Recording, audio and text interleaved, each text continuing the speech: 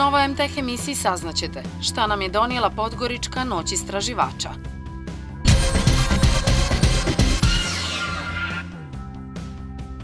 Djeca u Australiji programiraju već sa pet godina.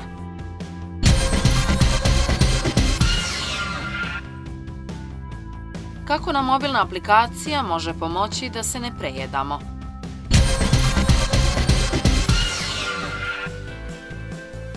Šta je NFC?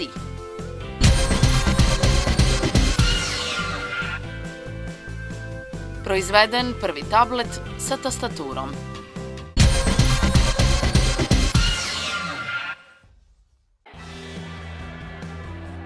Robot koji pleše okreće se, radi trbušnjake s klekove, igra u ritmu muzike, pokupio je najviše simpatija podgoričkih školaraca.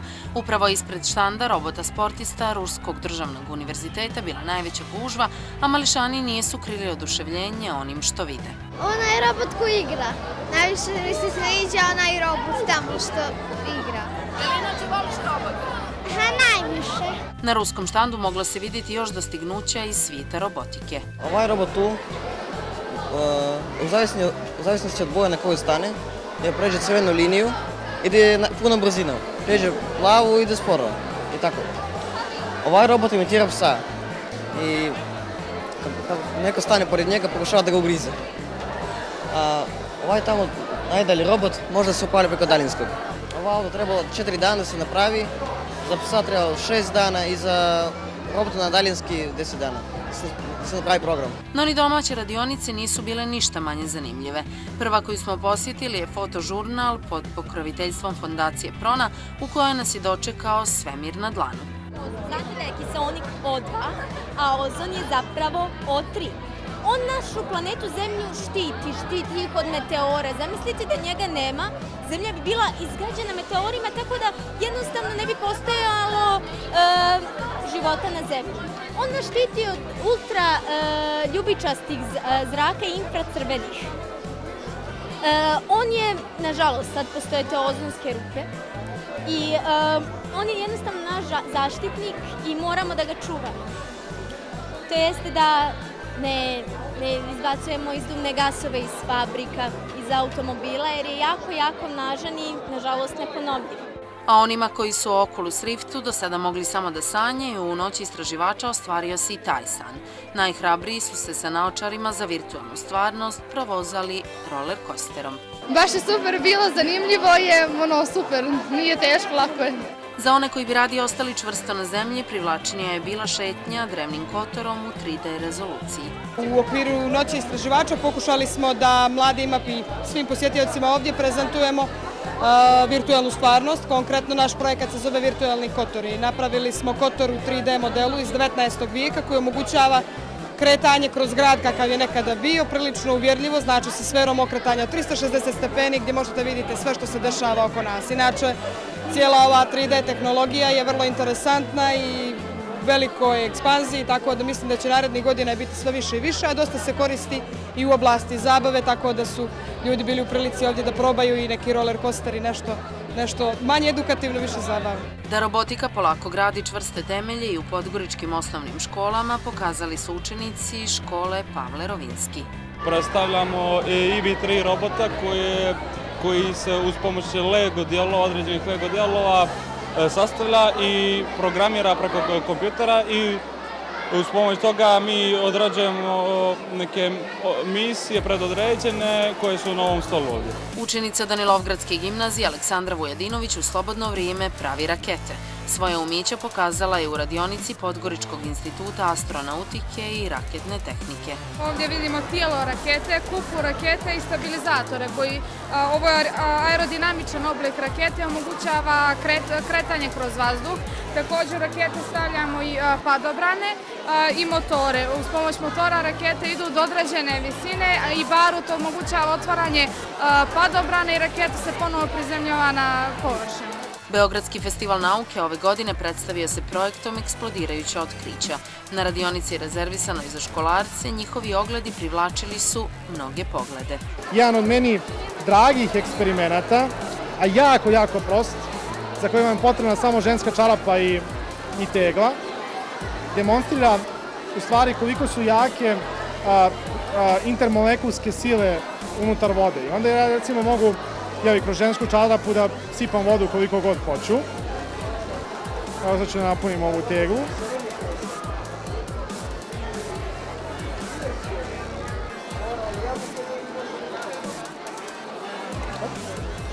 Evo da se ću nakon.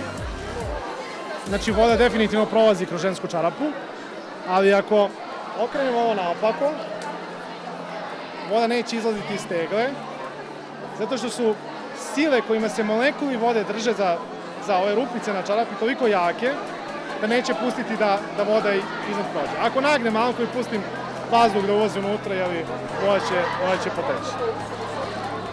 Jedna stvar koja je, koja je super za, za zaraditi čokoladu ili, ili novac od roditelja, tako im, tako, tako im pokazujemo ovaj eksperiment, to je, to je demonstracija one, one stvari koje, koje među prvima naučimo u školi iz prirodnih nauka, to je da se tijela na topoti šire, a na noći skupljaju. I to posebno važi za, za, za gasove. Gasovi se mnogo šire na topoti, a mnogo skupljaju kada ih, kada ih hladite. Sad vi možete svojim roditeljima donesete ovako jednu flašu sa ovim većim otvorom, jedno tvrdo kuvano jaje ili ovako balon ovaj, punjen vodom i da zamolite roditelje da uz opkladu pokušaju da ubace unutra balon ili, ili jaja. Pa ćeš da probaš da... Praktično je nemoguće, zato što vazduh unutra prosto neće da se sabije i neće da dozvoli da balon unutra upadne, ali ako vi onda zapalite jedan papirić, ubacite unutra, taj papirić će da greje vazduh koji se nalazi unutar boce, taj vazduh će da se širi, da izleti napolje, a onda kada vatrica prestane, onda će vazduh koji ostao unutra se ohladi, da se skupi, da napravi vakum koji će prosto usisati balon unutra. Noć istraživača bila je idealna prilika da zavirimo i u svijet elektrotehnike. Evo recimo detektor e, pokreta, odnosno detektor sjenke, znači koji, evo ovako, ovdje je jedan fotootpornik i kada sjenka padne na njega, on pišti. Znači, umjesto ovoga dijela tu koji pišti, može da se stavi recimo i sijalica, pa da to bude da se upali sijalica kada stavimo ovako, kada uđemo u prostoriju, onda se upali svjetlo ili nešto slično. Naši članovi imaju priliku da besplatno putuju širom Evrope i da posjećuju razne radionice. Na tim radionicama uče kako da prave neke od ovih stvari. Evo prije svega recimo eh, programiranje na Android platformi pa upravljanje ovoga autića E, sa tom aplikacijom, zatim generator funkcija, e, detektor e, pokreta i detektor sjenke. Znači to su sve projekti uglavnom mahom iz elektronike koji su naši članovi ili učili na nekim od radionica ili na seminarima i kursevima koje naš lokalni komitet organizuje.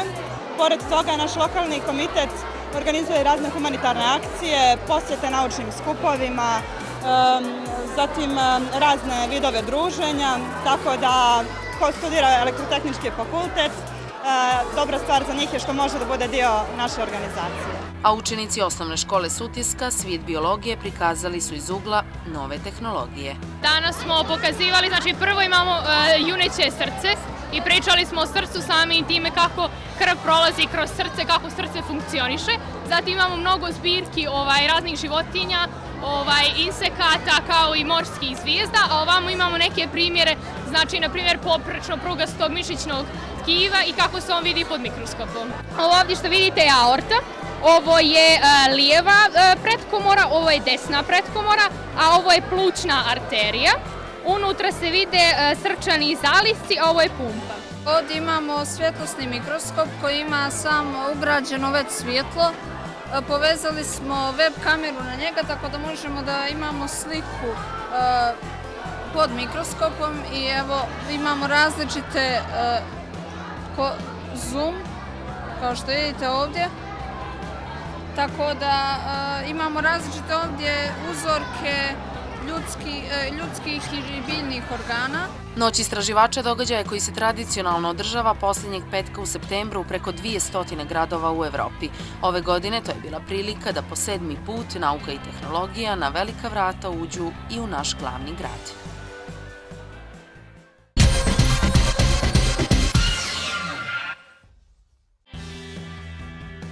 Na ulice Praga izašao je prvi beskućnik u koga je ugrađen internet, takozvani hodajući hotspot za bežični internet, odjeven u majicu na kojoj piše da komu se približi može se besplatno priključiti na tu mrežu. Beskućnik Radin, koga sugrađani poznaju jer kraj ulaza u metro prodaje cviće, pristao je da postane probni mobilni Wi-Fi predajnik u projektu Wi-Fi for Life, kojim student Luboš Boloček pokušava da spoji korisno s humanitarnim, da pomogne beskućnicima preko službe besplatnog interneta na mjestima na kojima besplatnog signala nema. Ako se akcija pokaže uspješnom, Boloček želi da je ponudi Pragu i provajderima interneta. Tokom probnog perioda biće angažovano šestero beskućnika koji bi po 8 sati dnevno proveli na najprometnijim mjestima u Pragu Pragu, noseći u džep uređaj koji omogućava priključivanje na internet ljudima u prečniku od oko 20 metara. Beskućnici Wi-Fi hotspoteri bi u zamjenu za to dobili hranu, odjeću i smještaj, a nakon šest mjeseci i ponudu zaposlenja od grada ili nekog preduzeća. S tim u vezi u Sjedinjenim državama je prije tri godine propala slična ideja zato što je kompanija BBH postala meta kritika da time ponižava i žigoše beskućnike.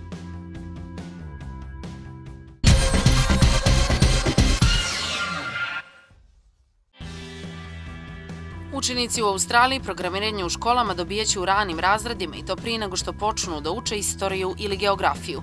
Djeca će već sa pet godina biti upoznata sa osnovnim računarskim operacijama, a sa sedam će početi da uče programiranje, saopštilo je Australijsko ministarstvo obrazovanja. To znači da će biti obučavani za rad na kompjuteru prije nego što se susretnu sa časovima iz nekih opštih predmeta. Uvođenje programiranja u tako ranom uzrastu ima veze sa pojačanim fokusom države na kompjutersko obrađivanje nauke, tehnologije, biologije, inženjerstva i matematike. Kao i svaka inovacije, i ova ima protivnike. Predstavnici opozicije usprotivili su se ovom modelu, pitajući se da li vlada planira Mališane da zaposli sa 11 godina. Vlada Australije uložit će 12 miliona dolara u ovaj program.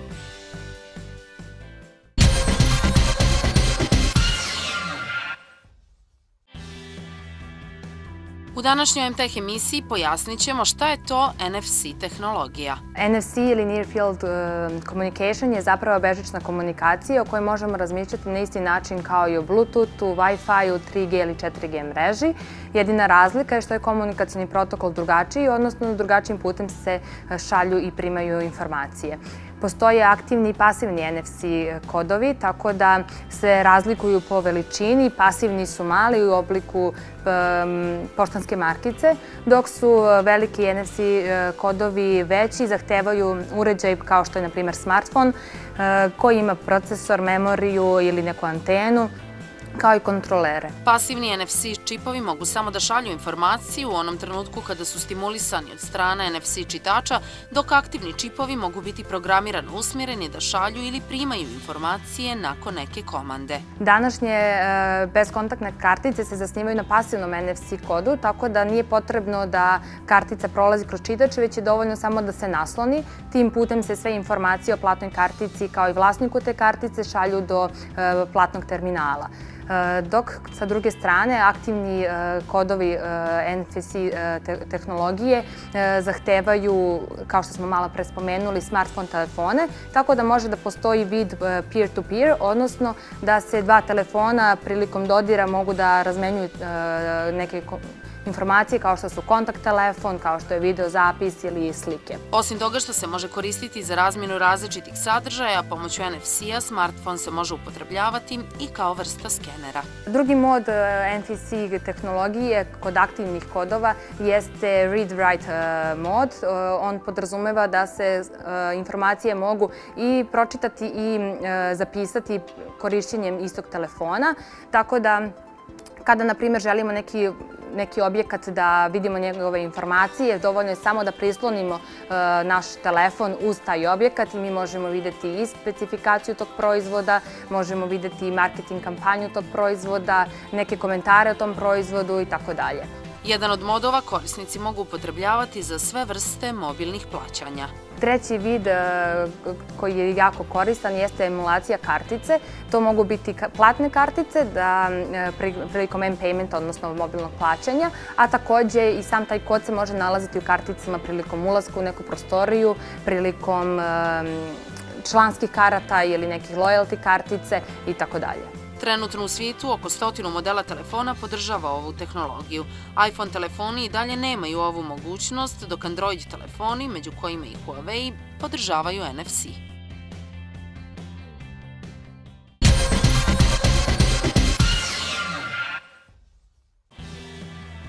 Emotivni proždrljivci su ljudi koji ne jedu jer su gladni ili zato što njihovim tijelima treba gorivo. Jedu kako bi prevazišli depresiju, usamljenost, strah, anksioznost, bijest i brojne druge emocije koje očajnički žele da ostave za sobom, pokazuju najnovije studije. Cilj nove telefonske aplikacije upravo je da prekine težnju prema hrani sa nizom kratkih pitanja na koja se lako odgovara, a sve u cilju da vas izvuče iz te situacije.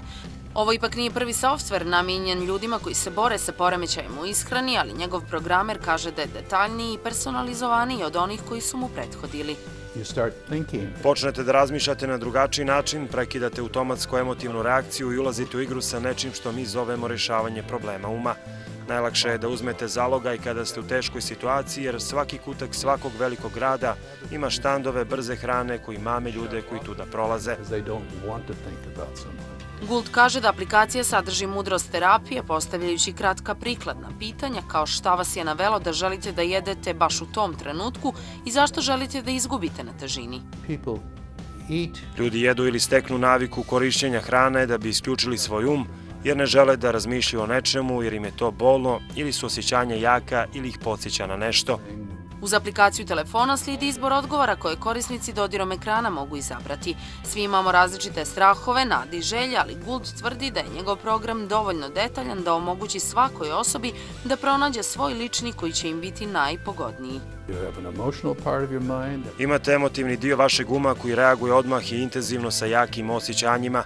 Imate racionalni dio vašeg uma u kojem možete srediti ta osjećanja i shvatiti što je stvarno, tada možete odlučiti što da uradite. Dakle, ovo je program koji zapravo pomaže ljudima da steknu povjerenju u rešavanje problema. Guldova bivša pacijentkinja Leslie Lewis kaže da joj je program pomogao. Postavlja osnovna pitanja, poput prvog koje glasi gdje si sad. To je važno pitanje jer je nekako osnovano, utemeljeno jer zavisno od toga gdje sam, zavisi i šta želim da uradim. Hoću da pojedem dodatni obrok, hoću za užinu nešto što ne mislim da treba. Želim da napustim svaku dijetu koje pokušavam da se pridržim. I to je ta stvar, odgovor koji bih najčešće da pritisnem. Dakle, pita vas pitanja koja su vrlo jednostavna.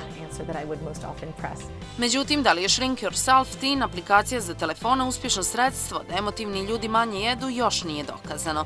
Gould je sam stopirao priče da aplikacija može u potpunosti da zamini psihoterapeuta. Univerzitet u Kaliforniji, kompanija koja se bavi zdravstvenom zaštitom, sproveli su studiju sa 90 pacijenata koji su koristili Guldov software. Cilj je bio da se otkrije koliko su efikasne elektronske terapije. Istraživanje pokazuje da iako tretman računarom traje duplo manje od onoga koliko je terapeutu potrebno za individualnu psihoterapiju, ostvario je slične efekte. Međutim, autori su i dalje oprezni po pitanju toga da li bi se psihoterapija mogla zamijeniti elektronskim programima. Pretpostavljam da će mi uvijek biti bliže intervencije jedan na jedan, jer to može dati mnogo više odgovora na pitanje kako je pacijent. On vjeruje da važnu ulogu ima i elektronska psihoterapija. Međutim, prema doktoru Eriku, bez obzira koliko je komplikovana, detaljna i personalizovana, aplikacija nije u stanju da se dovoljno prilagodi i pozabavi jedinstvenim problemima svakog pacijenta. Postoje pacijenti koji su odgovorili pozitivno na jednu intervenciju, postoje i drugi pacijenti sa kojima to ne funkcioniše, morate da uradite nešto drugačije.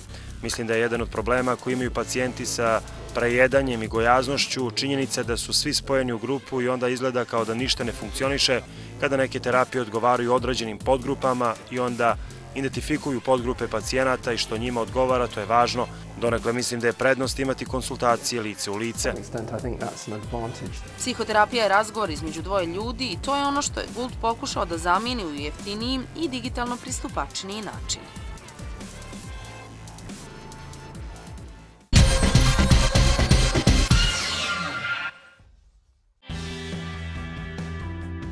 Industrija tableta raste, no čini se da se pojedinci ipak ne žele odreći tastatura. Najbolji primjer za to su Microsoft Surface Pro i najnovije iPad Pro izdanje koje dolazi s tastaturom. Touchscreen nije dovoljno praktičan za dugotrajno tipkanje ili pisanje dužih tekstova, a i zauzima dragocin prostor na ekranu. Postoje mnoge tastature za laptopove koje vam mogu poslužiti, no kompanija Quarky Toys napravila je retro tastaturu koja se zasigurno ističe. Quarky Writer tastatura je imitacija pisaće mašine. Iako izgleda starinski, ima dosta moderne tehnologije. Tastatura se povezuje s uređajem putem Bluetootha, što znači da se uz tablet može koristiti i za kancelarijske računare, ali i za smartfone. Očito je da je već pokupila simpatije korisnika jer je na Kickstarteru prikupila 30.000 dolara više od cilja koji je bio 90.000. Quirky Writer tastatura koštaće 330 dolara, a u prodaj će se naći krajem godine.